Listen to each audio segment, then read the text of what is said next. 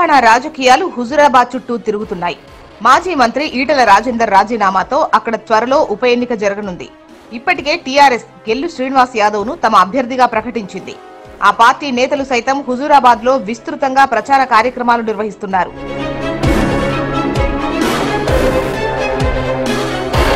అయితే టీఆర్ఎస్కు రాజీనామా తర్వాత బీజేపీలో చేరిన ఈటలను తమ అభ్యర్థిగా బీజేపీ అఫీషియల్గా అనౌన్స్మెంట్ చేయలేదు. ఈటల మాత్రం తనకు తానుగా బీజేపీ అభ్యర్థిగా ప్రకటించుకుంటూ ఇటీవల వరకు పాదయాత్ర చేశారు.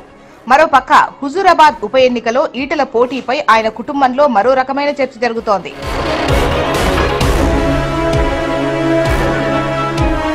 అదేంటంటే ఈటల రాజేందర్ ఇటీవల నిర్వహించిన పాదయాత్ర నేపథ్యంలో అస్వస్థతకు గురయ్యారు. ఆయన కాలికి ఆపరేషన్ కూడా అయింది. ఇలా పలు అంశాలతో పాటు ఒకవేళ ఈటల ఓడిపోతే ఎలా ఉంటుందన్న పరిణామాలను కూడా పరిగణలోకి తీసుకొని ఈటల రాజేందర్ను కాకుండా అతని సతీమణి జమునను పోటీ చేయించాలన్న ఆలోచనలో బీజేపీ ఉన్నట్లు తెలుస్తోంది.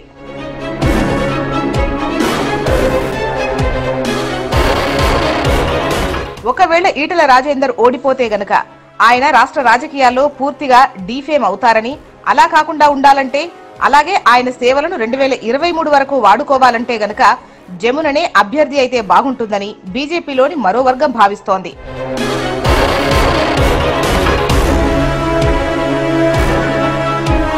అందులోనూ ఈటలకు ఏమాత్రం తీసిపోకుండా జమునకు వాక్చాతుర్యం ఉంది. బీజేపీ కార్యక్రమాల్లో ప్రచారాల్లోనూ యాక్టివ్గా పాల్గొంటోంది. దీంతో ఈటలను కాకుండా జమునను హుజూరాబాద్లో బీజేపీ తరపున పోటీలో నిలపాలని ఆ పార్టీ నేతలు ఆలోచనలు చేస్తున్నట్లు సమాచారం.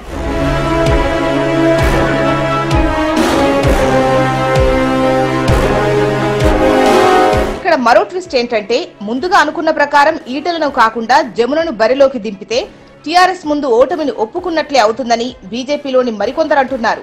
ఈటల రాజేందర్ నే పోటీ చేయిస్తే బెటర్ అని వాళ్ళు ఫీల్ అవుతున్నారు. అయితే హుజూరాబాద్లో బీజేపీ అభ్యర్థి ఈటల రాజేందరే అంటూ అనఫీషియల్గా ప్రచారం జరుగుతున్నప్పటికీ అఫీషియల్గా మాత్రం ఆ పార్టీ అధిష్టానం నుంచి క్లారిటీ రావాల్సి ఉంది.